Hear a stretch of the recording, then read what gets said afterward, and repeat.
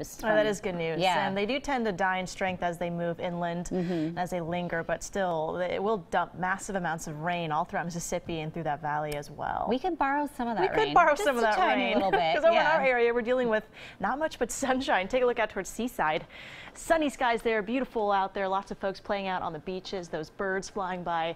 Just an awesome view there. Up aloft, you can actually kind of see some smoke pushing in. We are getting a bit of haze from those uh, local fires out in parts of Oregon. So you can see that now. Typically, we can see those rolling hills, but again, we are getting some of that smoke. And right now, we are seeing that pushing in mainly from the south. So the south part of the valley, Eugene and Salem, may get a bit more smoke. Portland seeing a bit of haze up in the mountains as well. So you are watching that smoke rolling in. The good news is that we will see that pushing uh, back out as we head towards uh, Friday. But for now, we are seeing air quality mainly in the moderates and the greens here, the good level. So not much of an impact at the surface for the smoke, but again, it will look a bit as we head outside.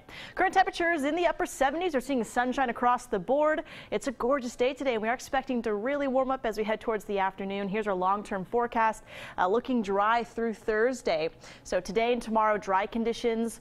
Uh, the heat brings uh, uh moves back in heading into our afternoon, but as we head towards Friday night, looking like we'll see that uh, system pushing in and the cold front bringing a bit of rainfall. Most of it will stay towards the beaches heading into Friday as we uh, up, uh, it, up north too as well that rain will stay up there. But for us we may see a light uh, dampening and some light rain showers as we head towards Saturday morning as well. Sunday looks dry. Heading into Monday though this uh, system will start to swing in again.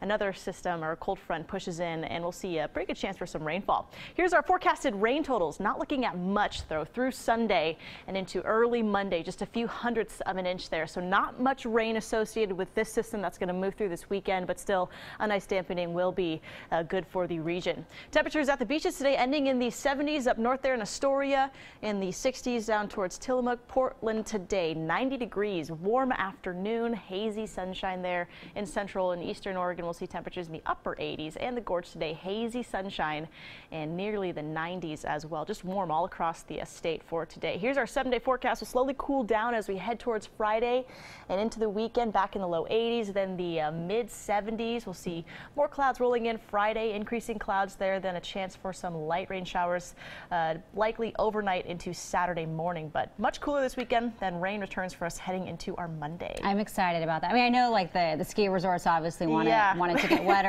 and the, the, farmers and the yards around all of the Portland yeah. metro. it seems like Friday's round of rain, not much, but Monday yeah. Tuesday may see some good rainfall. I'm excited for that. Yeah, should be nice. Okay, we'll be right back.